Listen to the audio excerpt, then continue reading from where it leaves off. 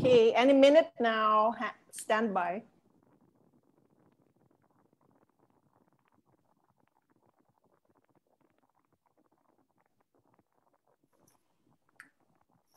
And you can share it on your wall if you like. Right now, I don't know how to do that. Oh, well, it's okay. I'll do it for you. Can I share? Oh, okay. Okay, connecting, connecting.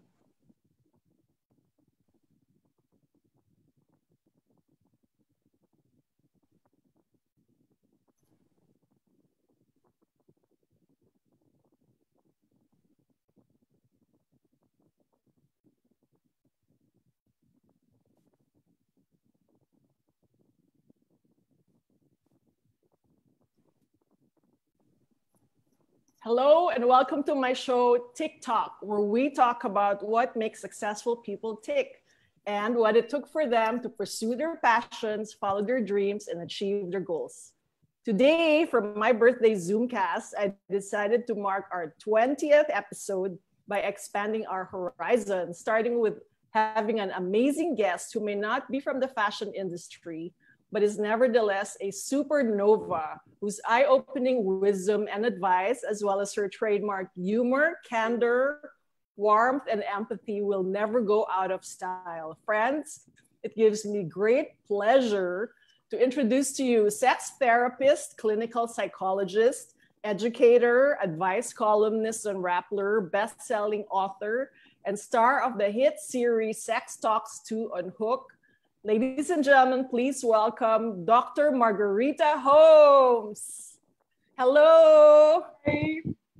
Good to be here. Thank you for inviting me, Myrza. Oh, thank you for saying yes. So, happy birthday. It's a special birthday. Why? I'll, tell you, okay, 70. Good. Yes. Yes, I'm quite excited. So now I expect people to lie when they ask me how old I am and I say 70 really? you don't look a day over 69. anyway, I, I'm excited.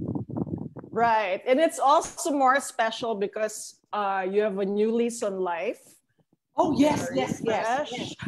Thank you. Yes, I found out May 20 that uh, my cancer is all clear, no further treatment necessary. Of course, every three months I have to have another PET scan, but I am so thankful. It's so nice not to have that sort of Damocles over your head, you know?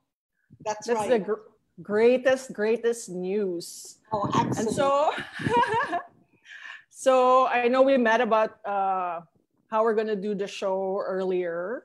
And so for my first question, uh, I have to ask you, and this question could be interpreted as a fashion question or a question with sexual undertones, especially in these quarantines when many lovers are apart and they have to improvise virtually. Dr. Holmes, what are you wearing? Oh God. Okay. okay. Uh, and I have to. Sorry, because uh, very few things fit me now. So it's this top, and also later, if you want, if we talk about cancer again, which I wouldn't mind, I'd be very happy to, I can show you my Port-a-Cath. Porto cap is what they have so that uh, they don't have to keep on looking for a vein when they put your, uh, you know, for the chemotherapy. Sometimes your veins collapse, you know. Anyway, that's all. I'm wearing this. Sorry, it's a mix. If you know everything. Very sexy. Ooh.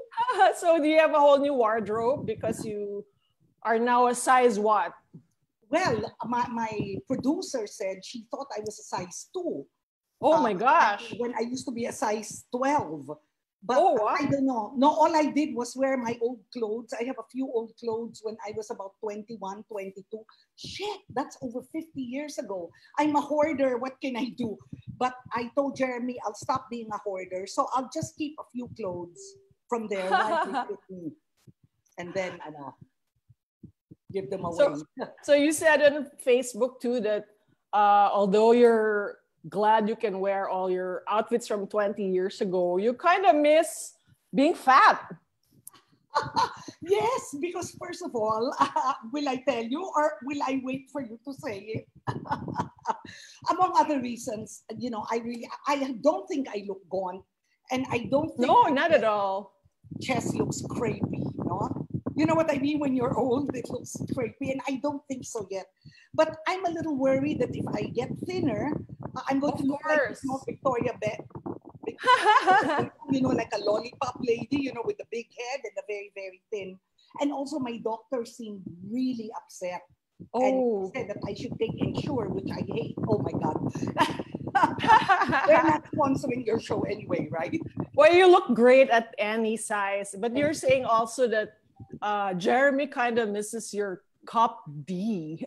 Hey, Cup DD. Sorry. D, D, double D. Oh my goodness. At least that's what Victoria's Secret said, but I don't know if they said it just so that I'd be happy and buy more bras. You know, do you notice that the more expensive a shop, I'm not a shop, you know, a designer is, the smaller the sizes. So if I go to Right. 21, I'm extra large. But if I go to St. John or Escada, I'm medium. You know, and I think, and that's why I think maybe Victoria's Secret told me I'm DD because they're like Escada. You know, I because know. You, will be happier to be medium. Than They're I- all- I don't know. Yeah. It's all a deliberate lie so that we're gonna Yes. buy it, right? Yes. Yes. but the sizes that never change are our shoe sizes, right? Oh yes, that's right. Speaking of shoe sizes, are you wearing the special shoes that we talked about? Yes. No, not right now. Oh, not right now. I brought some. Not the. So, do you want to say what shoes we were talking about? Yes, Dr. Holmes said when we were uh, chatting about what we're going to talk about in the show, she said, if you like, for a fashion dimension, I can wear my fuck me pumps. Okay, I want you to know that this is a quote huh, from Joan Crawford. Oh, Joan Collins? You're too young. You're too young. Joan Crawford was the Joan one- Collins? Do you mean Joan Collins? Joan Collins. No, no. Joan Collins is a sister of that, the one who writes Of- Valley. Oh, Jackie Collins? Yeah. No, no, no. Joan It's Crawford. Joan Crawford. That, oh, okay. subject Sorry. for Mommy Dearest. I mean, Oh, okay. very, very old, right? Betty, Midler. Right. No, not Midler. I forgot. Bette Davis. Very, Yes. old. I'm sure that your viewers will not remember. Anyway, she was the one that used that term, fuck me. Oh. pumps. So my fuckiest pumps are, I gave to the to the uh, Ninja Dogs. That's the studio that produced me because you know they may need it for you know another show or something. you know. So this is all. Usually, I'll just tell you, you know, I, this is not because it's sling. Eh, it should be covered. Fuck me. Uh, pumps are usually, you know, closed, and these heels usually they can be a little higher, right? And right. according to Joan Crawford, I think, or me, according to me, why are they called fuck me pumps? Because they like invite men. When men see them, they find them so sexy. I think especially if you use stockings that have seams in the middle, Right. you know, black stockings, you know, light black, black stockings, not the opaque bang tawag doon, you know, the, you know, like the tights, not the, you know, I think so. I think you look a little different when you're up. And I think one message is surely men should know that it's a little difficult to wear these. these right. I think if they know it, they say, oh my God, this woman is taking the time and the trouble to be attractive to men. So she must be not up for it, but she must be more open. what, is, what is the psychology behind that? Because in porn, you see like women buck naked wearing high heels and they're on tables and Yes, yes, yes. kitchen tables and in bed. What is the Yes. what is Well, the that- visual it. I- stimulus? I think, well, I read somewhere that the French are much, much more, in quote, sophisticated than any other, uh, what, country or any other, whatever, ethnic group because they always leave something on. Oh, They're not, as you say, buck naked. They always Okay. leave something on. I don't know, maybe a piece of jewelry, I don't know what. But maybe those pumps have that connotation. Or maybe a Ah. guy will think, oh my God, she's still wearing these pumps. And maybe he's heard of the term pumps. I don't know. But yes, a lot of people, apparently, women, keep their pumps on when they have these, you know, very, very high heels that are sexy as hell. So it's like a bit of cultural conditioning. Yes. Yes. Or is it just in porn made by men? I wonder in oh. wom- porn made by women, do they like chuck the shoes and say, ano ba? No, you know what? This is a very interesting question. What I know about porn by women is that usually there's a story behind yes, not- we need the plot. It Yes, be wham bam, thank you, ma'am, right? It's not just thrusting, thrusting, which is so boring. You know, Right. even though some penises and vaginas or vulvas look different, no? But God, I want you to know it's not just because I'm 70 that I say this. Huh? Even when I was 25 or 30, that I found terribly boring. right. You know, if this is gender based. We need uh, a bit of build up, we need context, we need Yeah, setting. Right. a bit, at least a bit of a relationship. Not necessarily they're going to get married. Even if they just met on Tinder. But you know, a bit of a relationship, not just, you know. and maybe that that kind of uh, porn, the gender divide in porn is a reflection of life, right? Absolutely. Absolutely. I agree with you. so you were saying you, but even when you were 25, so maybe let's uh, rewind time a little bit and go back to the time when you decided to become a psychologist and well, sex therapist, yes, but uh, I, I saw in your old interviews that you said you came from a very conservative family, which I wow. cannot even imagine. oh yeah. But i'll tell you why i but, you know a very conservative family and this was in the 50s remember when i was grow, growing up. When i was 20 it was the 70s okay i fell in love because my father was so strict. I couldn't go out with anyone. So i fell in love with my philosophy teacher who was married okay? Right. so, you know, usually married men, you can't only have petting, petting, because I mean, you know, they're, I guess, kind of used to stuff, okay? And I was, even at 21, quite innocent, you know, because my parents were so strict. So maybe this is something good for parents to know that sometimes being so strict boomerangs, backfires. At Right. least so I met this guy, and um, and then I thought, "Ah, will anyone still want to marry me? Because obviously I, I can't marry this guy, although he wanted to. What you know what? Divorce is not allowed in the Philippines. I stupid. Actually, it was so funny because he said he'll he'll convert to Islam Huh? because then he can have more than one wife. But anyway, I wasn't interested. Among other things, don't think I'm maldita. I mean, what does a UP professor get? Right. I mean, I'm so sorry, but you know, at any rate. So I, I said, "Oh, who will I go to to ask this information? Because of course I asked the guy, but of course he'd say, of course you can get married. He says, what a stupid guy, and I agree with him, who will not marry you simply because you're not a virgin. You know, you look, you look for other things in a wife, not just, you know, you're not a virgin. And that made sense, but I thought, well, you know, he has ulterior motives for saying this. But who can I go to get this information?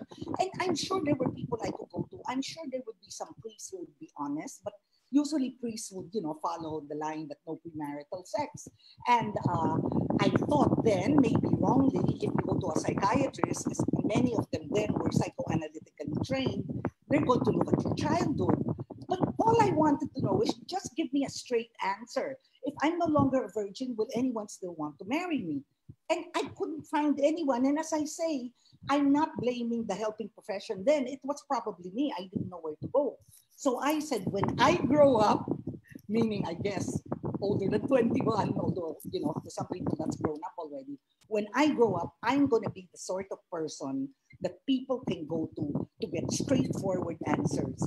And I am going to have so much integrity because a lot of people don't that I will definitely and distinctly say if this is just a matter of my opinion or if this is based on research.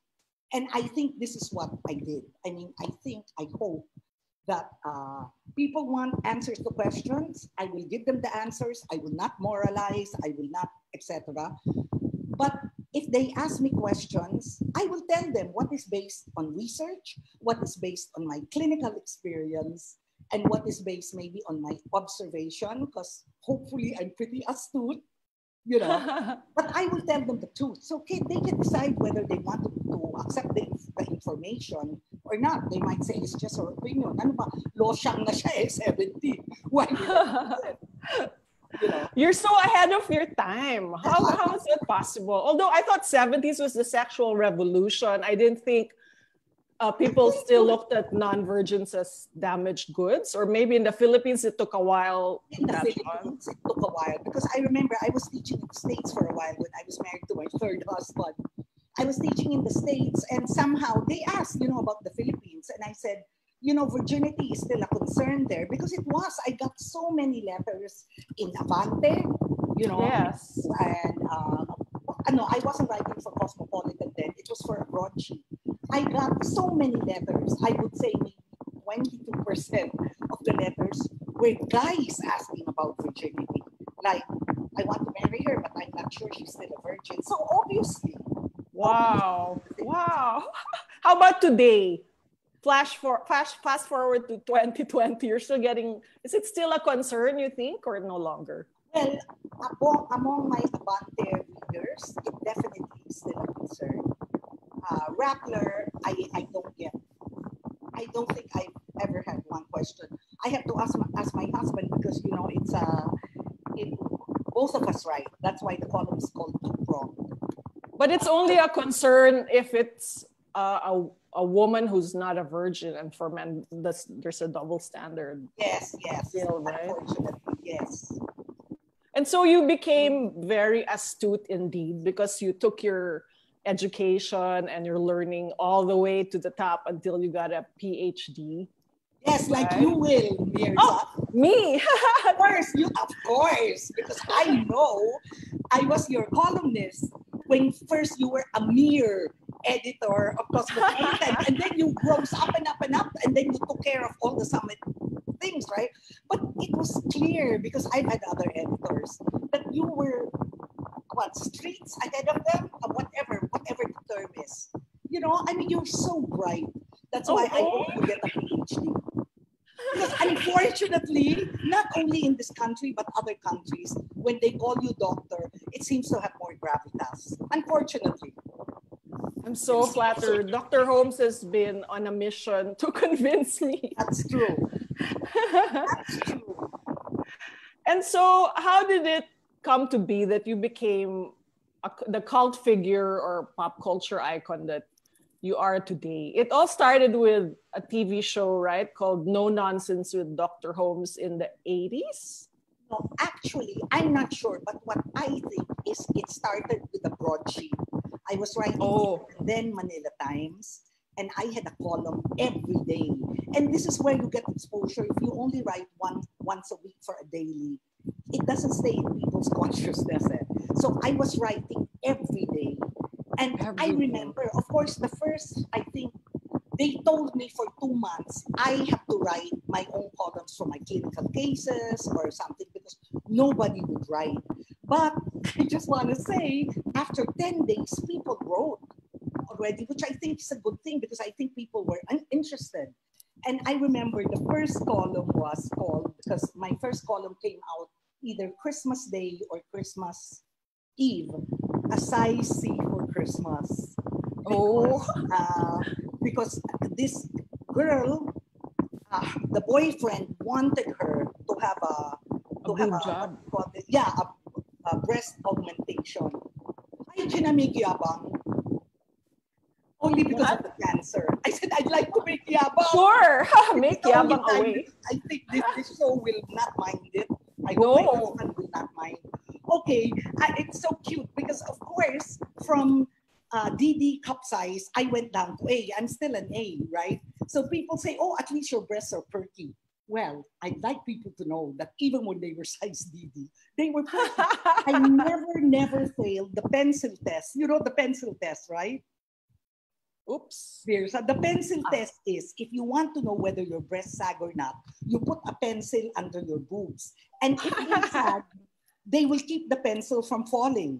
Okay, let's And try. don't say- well, now, now that I'm A, I don't think anybody will will uh, think I'm lying when I say, oh yes, they're perky. But when I was DD, you know, now I lie. And yes, I wish people would would have tried the pencil test on me, but didn't. you have I- every, every right to brag. I would brag too, but I I dare not take the test on my Oh, you're birthday. so funny. So humble. That's why she's such a wonderful host. Because hindi ba other hosts, two things. They never listen. I'm telling your viewers, right? They never listen or they're not bright enough to, hindi ba, follow the conversation. But you are fantastic. oh I'm my keeping- gosh. No, absolutely. So I'm keeping my fingers crossed that you invite me again sometime. Of course, we'll have a oh. part two, three, four, Ah, five. no, part two lang. Your viewers might complain. But then, uh, seriously, after the TV shows and the books and the columns, you are everywhere in media and you never stop making an effort to be accessible to all walks of life. Why do you uh, make an effort to do so? This must take up a lot of energy. I mean, I, I only do this show three times a week and I'm like having a hard time catching up. How do you churn out you know, All your content. is so you know, I'm bipolar, right? So at the time before I was medicated, I hardly slept when I was hypomanic. So it's so easy to write, although I don't know if my writing was as good when I was hypomanic rather than what they call euthymic, which is, you know, in quotes, normal. And so, you know, if you write, you can do it anytime, you can do it wearing anything. So that was fairly easy, the writing. So that's good. If it were something like, uh, that's why there were times I never accepted clients. Like if I Oh. was having an episode, you know, I was very lucky. I never accepted clients then because I think, frankly, it's unethical to do so. Right? I mean, you know, because how can you help them? right, right? And anyway, so uh, I was very happy that short, about a year or 18 months after I was writing in the broadsheet, the tabloid of the Manila Times asked me to write for their tabloid, which was Bandera. But, you know, it was a little, people thought, and maybe they were right, it was medyo bastusin. The, the, the tabloid. So I asked. yes, I worked for the Manila Times and I know there's a columnist named Xerex. In fact, we met the person behind the Xerex column. No, Xerex is in Abante. Oh, okay. I In thought fact, when, when I was writing for Abante, Xerex was much, much uh, more read than my Oh. column. Yes. Because it was much sexier. Eh ako siguro, ay naku, napaka-hypocrite naman itong babaeng ito eh. Laging naglalagay pa ng mga psychological studies. Psychological studies. Cerex was more, more widely read. And, uh, Okay, I'll make chismis no about the uh, the owner of, of Abante then became a Christian. Okay. oh, So he stopped the Cerex column. And I think this is wonderful. This is a guy who walks the talk. And circulation for Abante went down. oh. I don't know if by 50%. I, I don't know, no, but it definitely went down when Xerex stopped. I'm sorry, I, I digress. Maybe this is not important, but then you're in the journalism business. So, but I would stop talking about it. no. You mentioned uh, episodes. For those who don't know, uh, Dr. Holmes' life is an open book, her very colorful life, from her many marriages to her bipolar disorder to her breast cancer. You seem to have no secrets. No, no, no. Actually, and don't tell me what. Don't ask me what kind. My cancer was not breast cancer. Oh, sorry. Or uh, you know, I'll tell you. So I'll tell you. My lead doctor. I changed uh, lead doctors three times. Okay, until I found one I really love, and he's a surgeon. And uh, yeah, he's a colorectal surgeon. So ayan, there's a hint. What kind of cancer? Okay. Colon cancer runs in our family. Yeah. Sorry, my mistake. So I was talking about your life is an open book. So I was watching this video of yours where you were interviewed by Mel Tianco, and then Oh, she yeah. said, "You've been married four times, Dr. Holmes. How do you reconcile na four times kang nag-asawa and you're and you give advice, you give relationship advice. Okay, two things, no? I think only can I say something else about that show because it, it makes me look witty. Okay. Before that, she said, you know, you're, as you said, how can you give advice? You're a psychologist, you're blah, blah, blah, blah, blah, blah, blah. How can, is it true that nakaapat ka na? So I told her, if you mean legal marriages, yes, apat. Pero kung boyfriend, mas marami anyway, so going back, how can I reconcile? First, I never push that people should stay married if they want to. So in a way, I practice what I preach. Because a lot of the research, ayan, research ha, so objective, research shows that children are more affected negatively if the marriage is awful but the, but the partner still stay married. Parang it's easier if they break up rather than this atmosphere of hatred or this cold atmosphere or pretending. So, you know, I, I will not use the um, the, the reason that Barbara De Angelis, who was married to John Gray, you know, men are from Venus, men are from Mars, women are from Venus. And she said, Yes, I'm a psychologist. I've been married. I think she was also married four times. And it's because I value experience more than whatever. And I will not use that excuse. I, I will just use that I practice what I preach. And in my clinical experience and based on the research, you should not stay married simply because the culture says you should just have one marriage. Right. And uh, this has kind of been your the the way uh, you live your life. You don't seem to care, and you, I think, kind of are a living example of we really shouldn't care what other people think as long as we are happy, right? But then in our culture, there's always that nagging. Uh, what complex about ano nang sasabihin ng mga tao, paano yes. sasabihin nila ganito. Why were you different from the very start when you were also uh, you also grew up in this kind of culture and what can you say to people who are still uh, debilitated in their life choices by this kind of thinking? It's difficult. So, first of all, I would never say it at a party or whatever. I hate knowing alls like that if a person came for therapy, then we might discuss it and look at why she's so conservative or why she's so worried about what people say. But I think it is because my parents were so strict. So clearly, I could see that the things they said were not true. Like, if you're not a virgin, no one will marry you, or if you whatever. I knew for a fact after, although I was concerned hypothetically when I was no longer a virgin, I knew it wasn't true. I mean, what sort of idiot would not marry a woman simply because she's not a virgin. My God.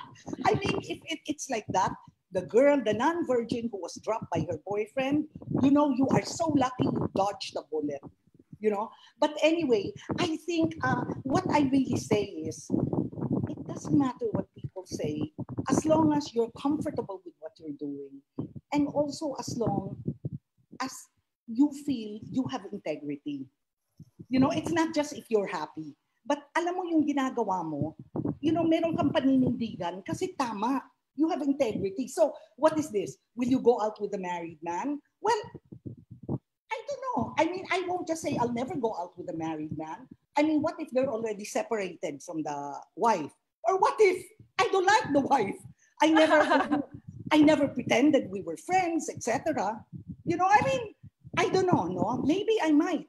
But will you go out with a married man and the wife is your friend? I, I couldn't do that. And other people do. I mean, I couldn't do that at all. Kasi parang binobola mo. I mean, there you're betraying someone. So, go ahead and do what you want. Don't care what people say kasi sino ba sila? And are they the ones that put food on your table? Are they the ones who take care of your children's education? No, so fuck it, right? so, uh, do what you want, you know, if it will make you happy and you are sure that you are not hurting someone needlessly, that you should not hurt. Because integrity is important. I mean, this is what I believe. Because how can you be happy if you know you're you're being a not nice person? You know, if you're not doing what you say you're doing. You know, I mean, because yeah, I believe what you see is what you get is very important. That doesn't mean your life has to be an open book. Hi, I'm Margie Holmes and I lost my virginity at 21. No, not like that, but at least you don't have to say everything, but everything you say should be the truth. I mean, this is what I believe. Right. And this living, live your truth kind of mindset has broken ground uh, in our society for so many through your columns and your books, whether it's for uh, being gay. You wrote uh, a couple of books which have helped a lot of people come to terms with their sexuality, or even bipolar disorder, which is already uh, kind of uh, not so stigmatized today yes, as was yes. before. And I think it's so brave also for uh, somebody in your field to admit that you are afflicted with a disease because what can what So does it say about you, right? are so nice. I just want you to know because bipolar disorder is considered one of the two most virulent, uh, most awful, most difficult to treat mental disorders. It's not like clinical depression or anxiety uh, disorder. And the other one, bipolar disorder and schizophrenia. These are the two worst ones. In fact, before I came out, I was a little older.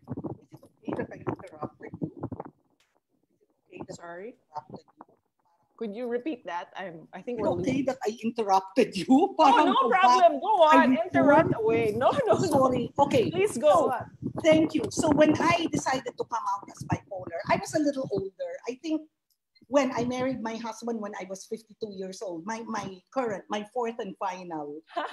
So a little after that. So I was older. So I told my husband, darling, if I come out as bipolar, I may not have so many invitations to lecture, right? Uh, so of course TV because they love to sensationalize. Maybe I'll still have the TV thing, and they pay more, frankly. Uh, no, no, no. Lecturers pay. Well, it depends who invites you to give a lecture.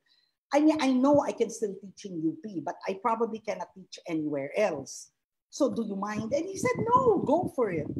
You know, and then what I, the only people I care about would be my husband and my daughter. So, you know, this this is the first time I'm saying this. So spook, you know, when you have bipolar disorder, one of the symptoms is that you do things that potentially harm yourself. Like you spend a lot of money, uh, you go bankrupt, you max out your credit cards, you have a bad reputation financially, you're sexually promiscuous, you don't finish your degree. My symptom was I was in quote sexually promiscuous, no?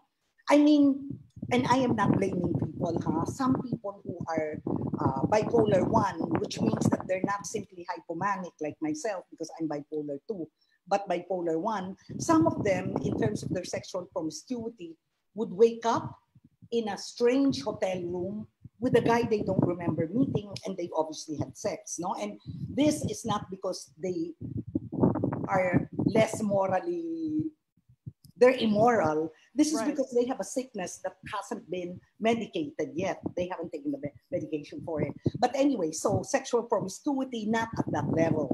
So as I say, I only care about my daughter and my my husband. So I asked my daughter, darling, uh, you know, I want to write a book about bipolar disorder because you know I want to lessen the stigma and you know it's life and you know I think and I said, would you mind because you know one of the symptoms is sexual promiscuity and I don't want to be coy, so I want to say actually how many men I've slept with. Is that okay? Uh, then she asked, why, how many men have you slept with? And I won't say now, maybe I'm being coy, but no, I think it's smart salesmanship because I want people to buy my book, right? so it was definitely more than, ano. So I said, would you mind? She said, no. In fact, I'm kind of jealous, which I thought was wonderful of her, wonderful of her. But anyway, yes, so I'll come out with this book. I don't know when, when. Maybe now I'll have time to write it because I'm sure not uh, lecturing yet or anything. Or doing the Wow. show, Sex Talks with Dr. Holmes. So, sayang. wow, we can't wait. Yeah. so if if one suspects that she might be bipolar have bipolar disorder, what is the best thing she can do like right away? I think I think the best thing she can do is to go to a doctor and alas, not a psychologist like myself, but a psychiatrist, because most most bipolar people need medication.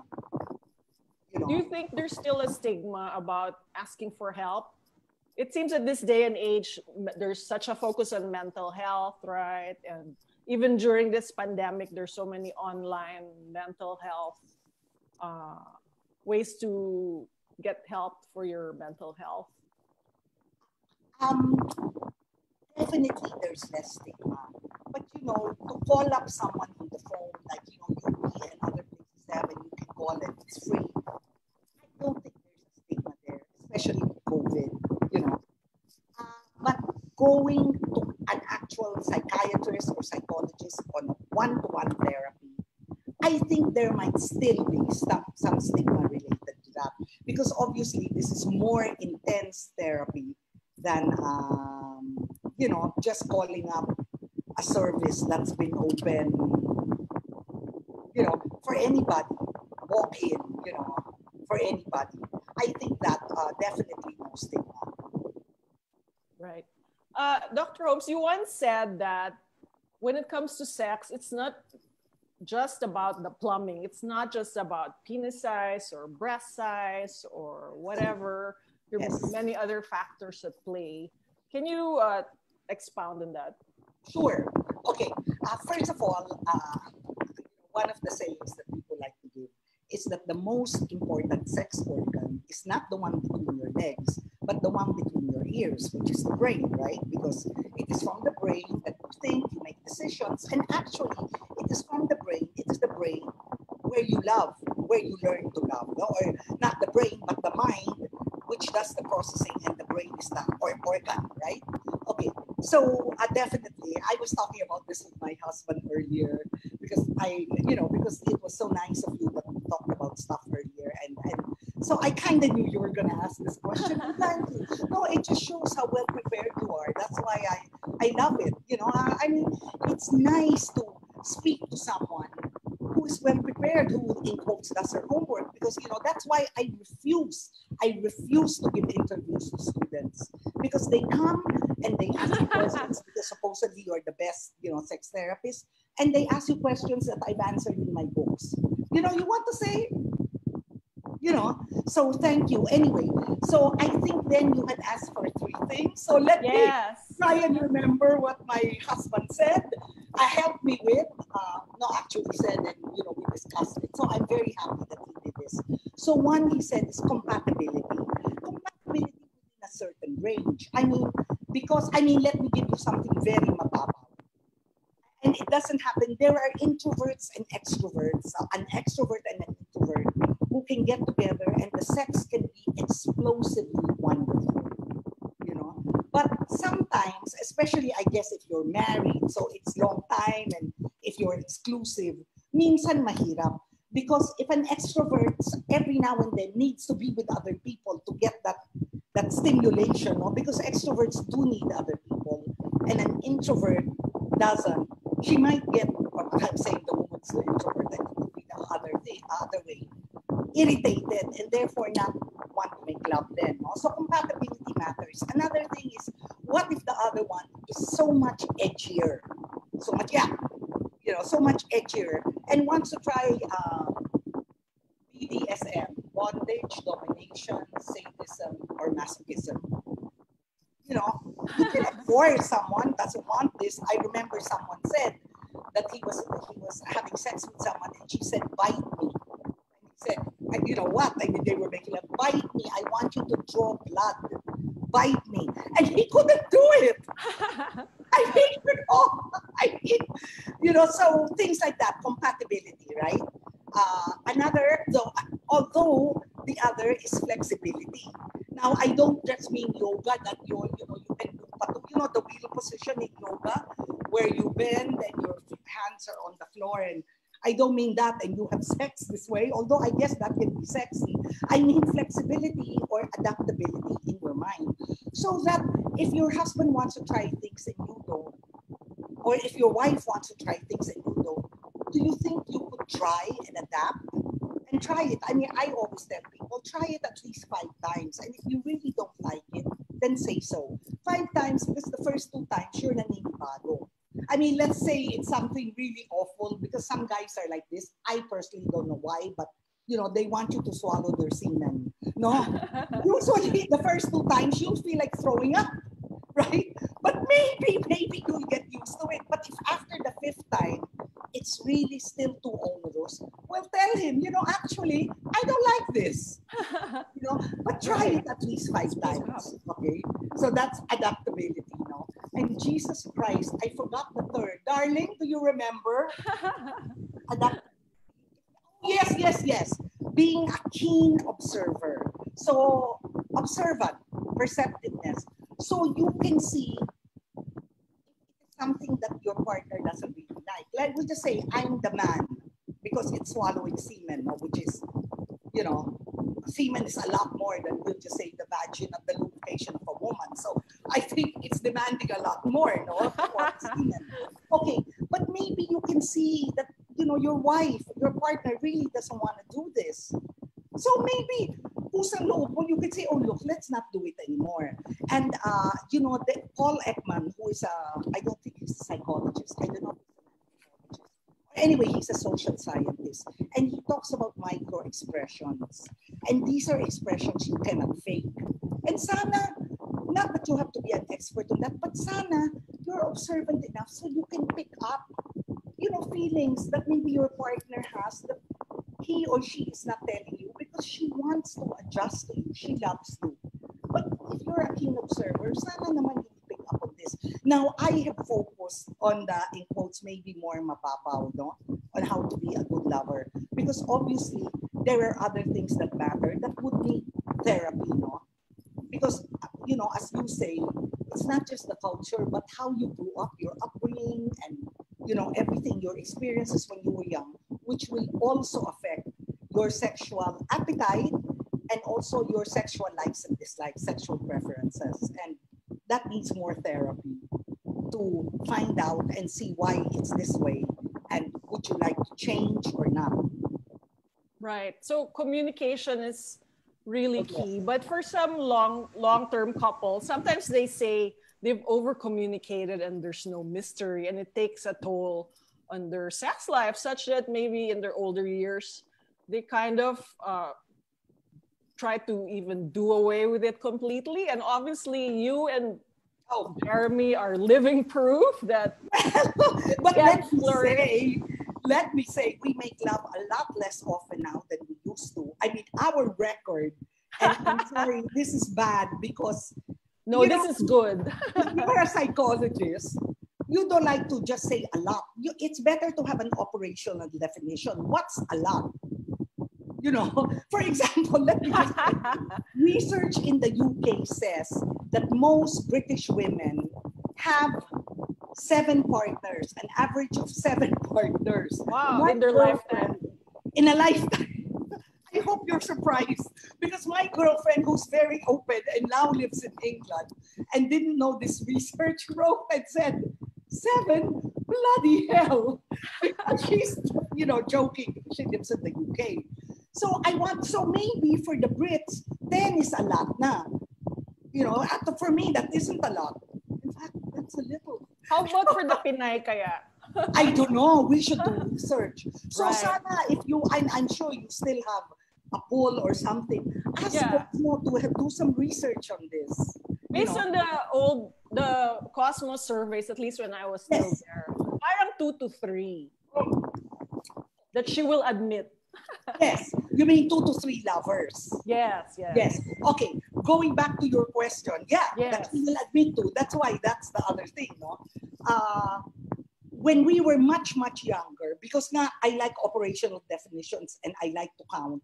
One day we met in Washington, D.C., and we were so excited because then I lived in the States and Jeremy lived in uh, London. So can you imagine, you know, flying and all that, each other for a long time. Now, when we made love eight times that one day, I thought, hmm, I wonder if this might be a record. You know, so I counted. I didn't tell him, of course. So I counted. So our maximum record, and understandably, this is because we lived in other countries, etc., was 52 times in one week. That what? was yeah.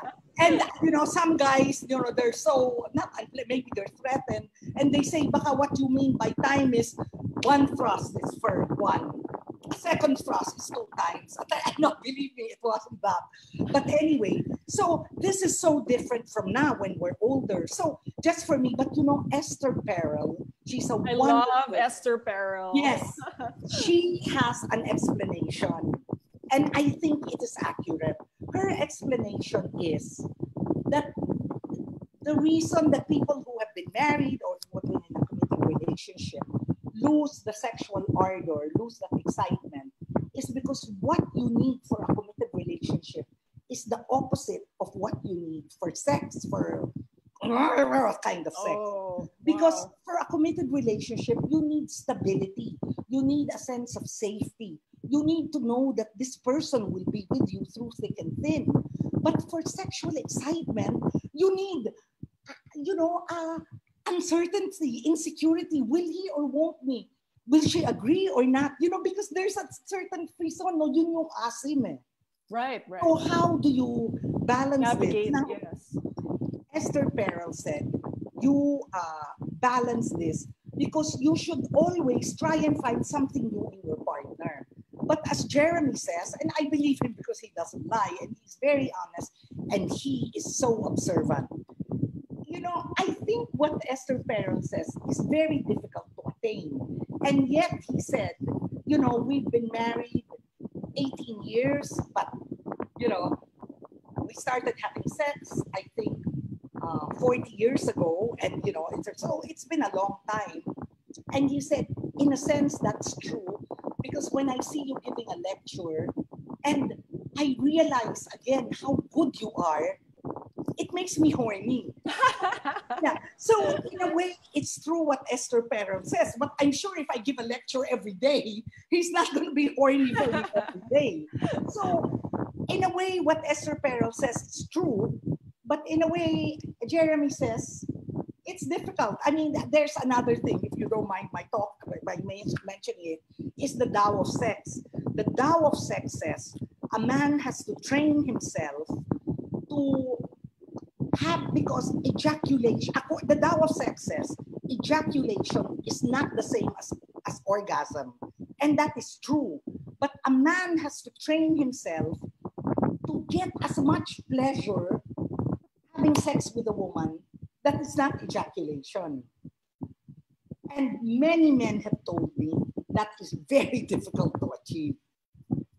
Because usually ejaculation is um, what they want, even though they should train themselves. Because why? Because if they train themselves, they won't be too tired. Right. You know, because kawawa naman guys, you know, I mean, you say afterglow, you want you want the guy to talk to you, and yes, but you know, if you ejaculate, especially if the third or fourth time in a night, it's hard for them to still. They talk. cannot move na. yeah, yeah, exactly. and, don't hate me, don't hate me, but it's 550. Of course. We, we need a part two, definitely. Oh, and yeah. can't wait for your book. And oh, you're so sweet. Yeah, I don't know when it'll come out. I hope I can finish it during this COVID time, not because we were distraction. Thank you, Myrza. Yes, I, thank you. It's the best birthday gift ever, and we're so grateful to have had 70 incredible years of Dr. Margie Ho. Wow, thank you. Thank you for everything that you do. You're fighting not just for everyone's sexual freedom, but also our freedom to love whoever we want, be or say whatever we want without fear of being judged or condemned. So we can all live fulfilling and happy lives the way we want to. Thanks to you. Thank you, Dr. Holmes. Oh my God, Myrza, thank you. Thank you. What a generous statement. And because I know you, I know you. Thank you very much. Oh, I'll be quiet na, no? So you can do. All right. I hope you sleep well tonight, and I hope I sleep well tonight too. Thank you, Margie. And thank you, everyone. This has been Tick Talk, and I'll see you all soon. Bye.